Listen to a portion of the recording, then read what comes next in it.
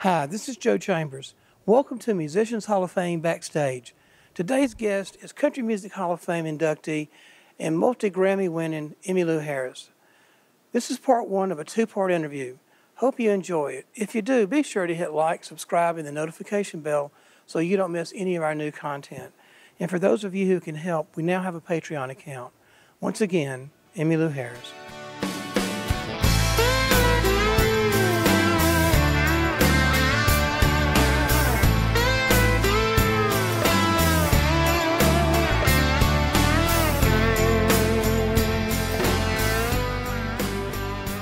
Welcome back to Musicians Hall of Fame Backstage with Emmylou Harris. Emmy, thank you again so much for coming. Oh, I'm glad to. I always love to visit the Musicians Hall of Fame, Joe. So I'm happy to be here. Thanks. Um, so, as always, we always want to know how did you get started? What made you want to be a musician?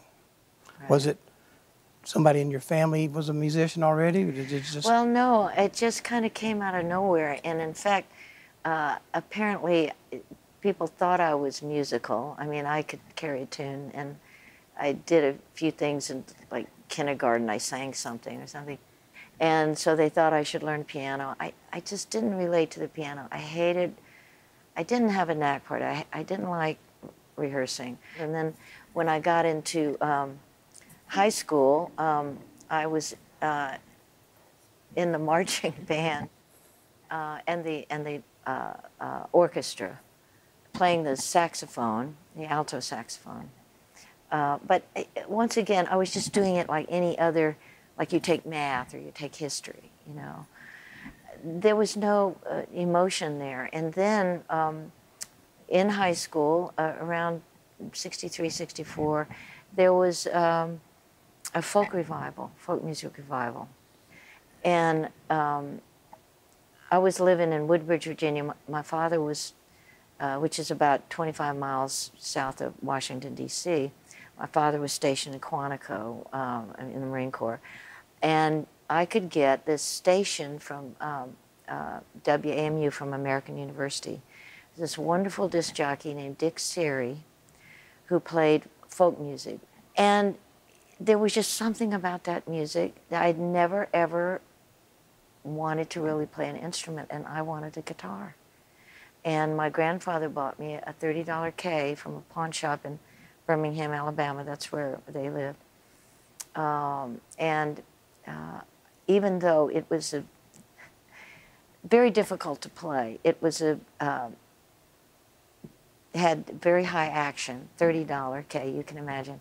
But I didn't know the difference. I didn't know that it wasn't supposed to be difficult to play and make your fingers bleed. And so I just would sit around and learn everything I could. I had nobody to teach me anything. Um, but I managed to learn three chords, which is about all I still know. Um, but there was something about, I think the lyrics had a lot to do with it. There were story songs. I'm still kind of drawn to that. Um, it, it, it got me into music uh, the way all those other instruments. I think it's because I could accompany myself singing. Can't do that on a saxophone. so I guess that was it. I started actually and and singing songs that meant something to me. Um, those story songs, even though, you know, a lot of those folk songs have nothing to do with your own particular history at the age of 16.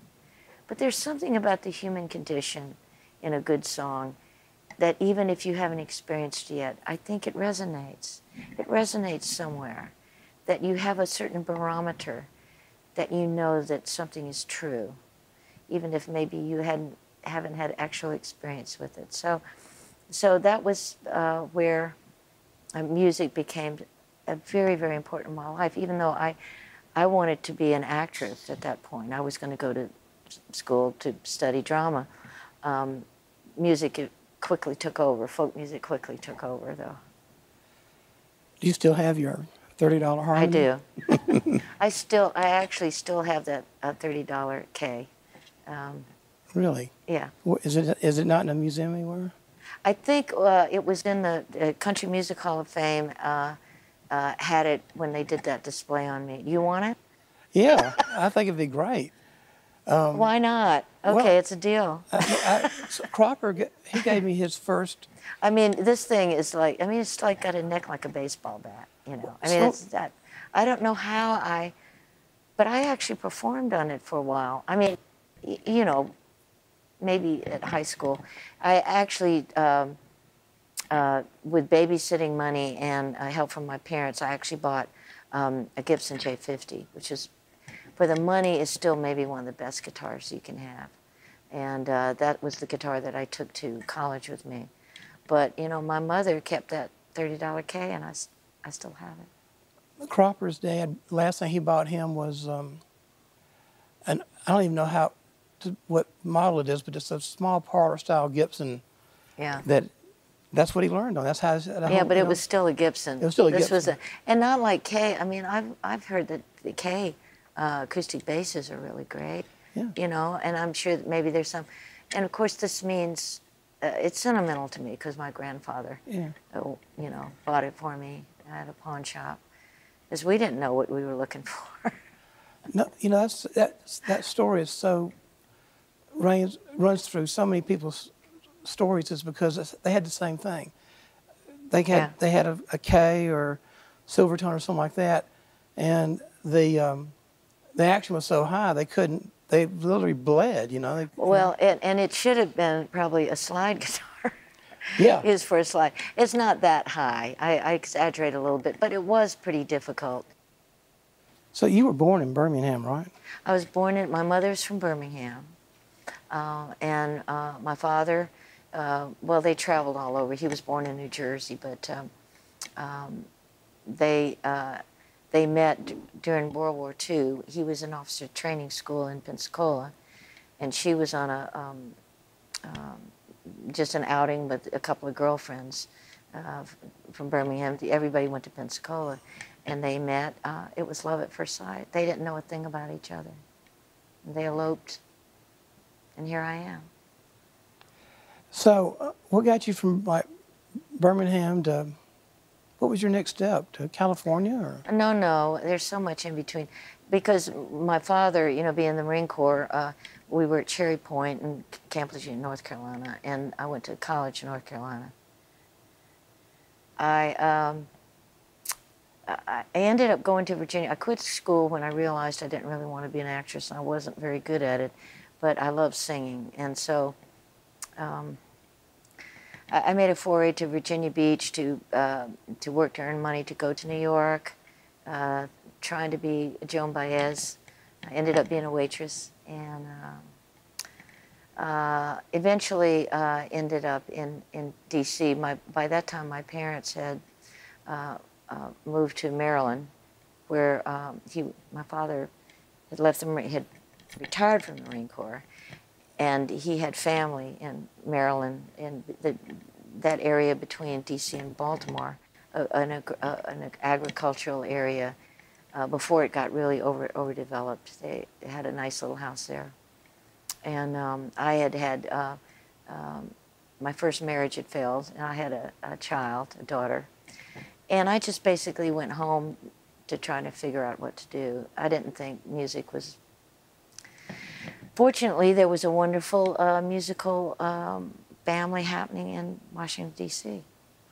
And through friends there, uh, Bill and Taffy Danoff, uh, who wrote um, Take Me Home Country Roads with John Denver, I got to know them before they, they wrote that song, and they were playing in the local clubs there. They got me work there, and um, Was that where you first performed in front of anybody? oh no, I'd been performing in Virginia Beach, I'd been performing in New York. Uh, Did you do the village thing? Oh yeah, I did the village the village thing.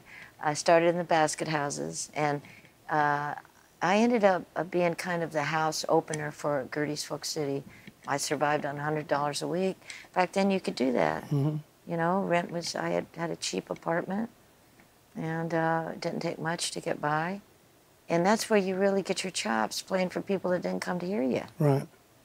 but in a place that, that people would listen.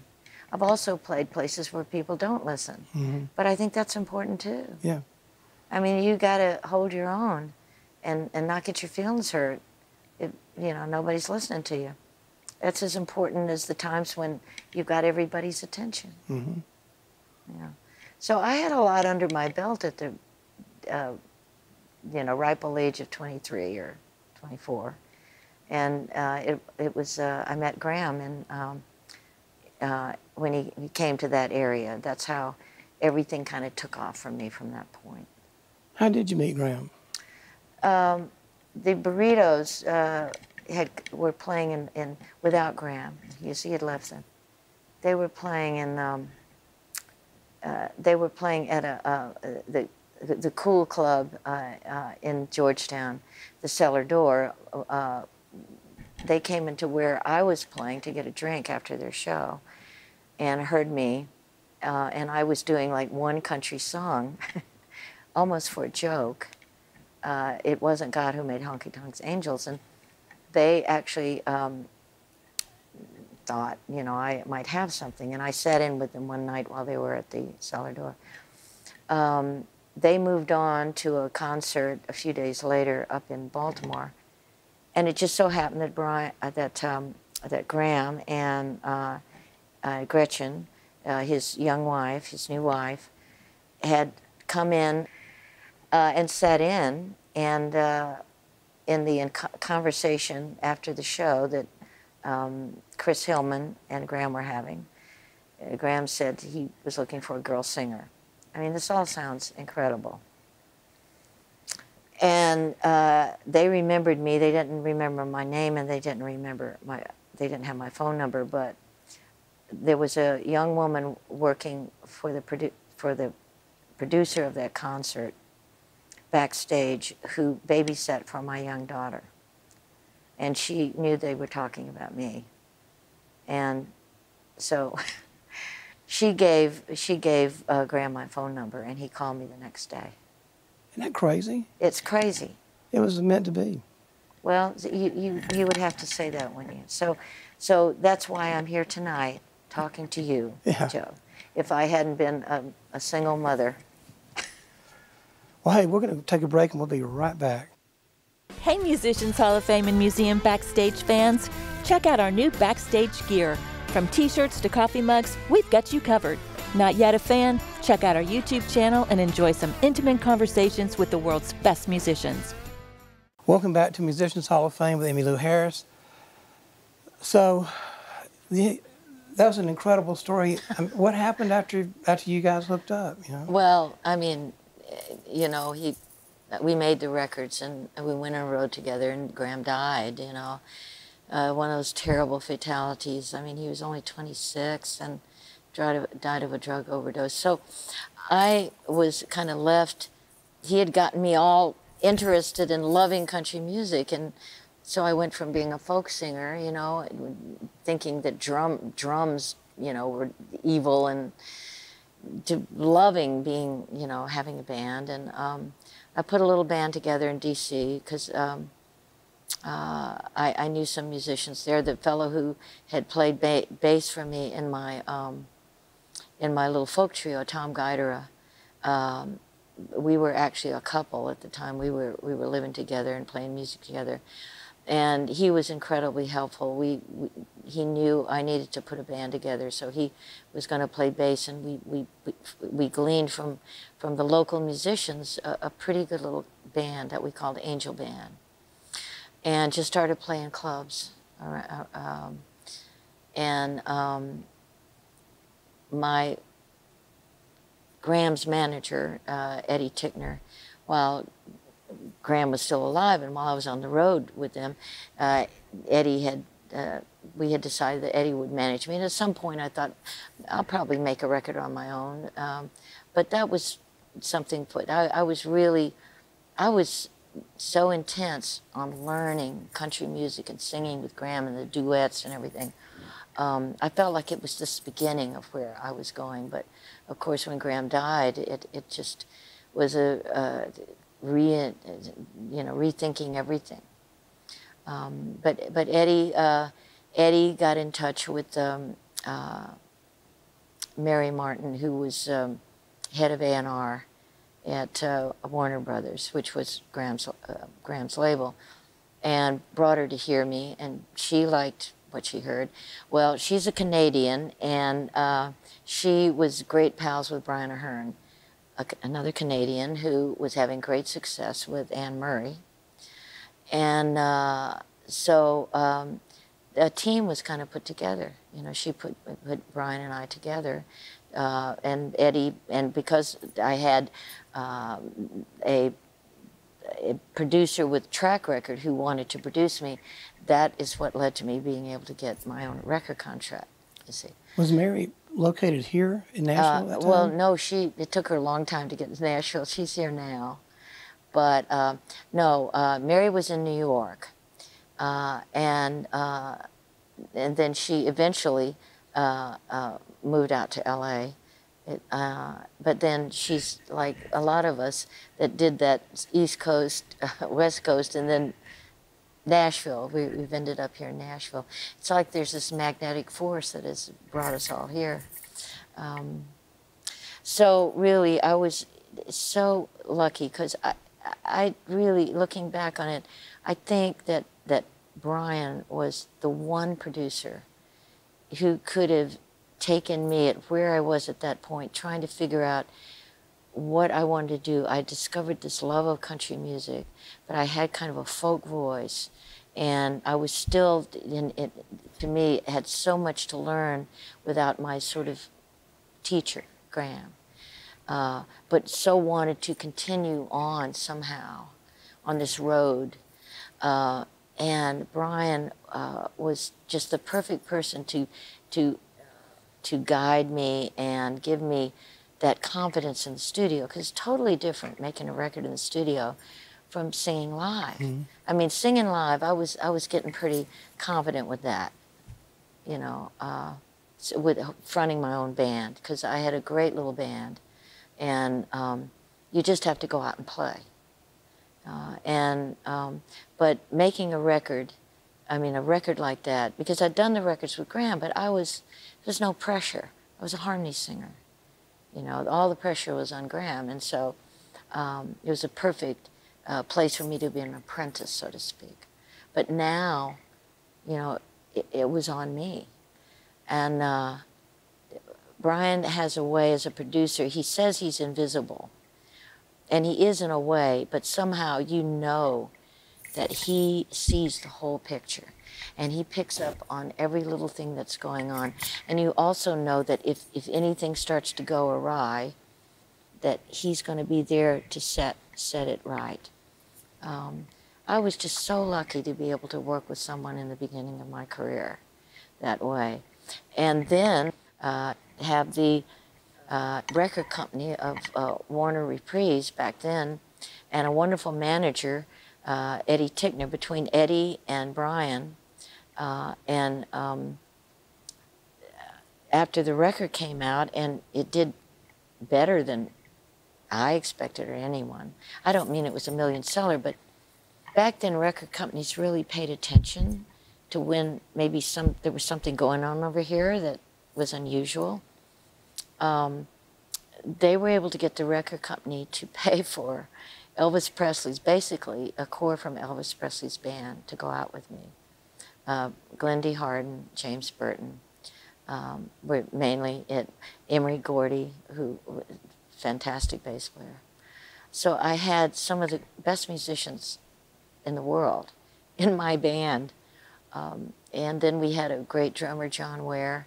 Uh, Hank DeVito was one of the young, young uh, steel players. He, he was one of those uh, of my generation who started on the Telecaster. And after uh, "Sweetheart of the Rodeo" or or uh, or you know the first Burrito album came out, mm-hmm.